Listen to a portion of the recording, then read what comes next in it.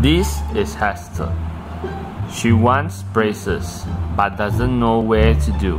So, she searched online. Let's see what we can find. Wow, cheap braces, 15 ringgit only. Seriously? Hmm, got side effect a lot lor. Hand, mobile, soreness, anger, infection. Oh my god! No, no, no. I think I better find orthodontist for proper braces.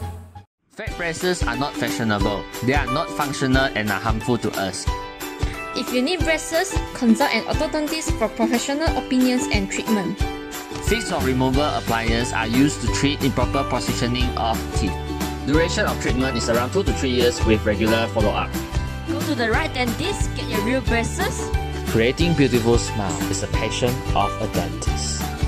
Dr. Gigi, pastikan yang ori.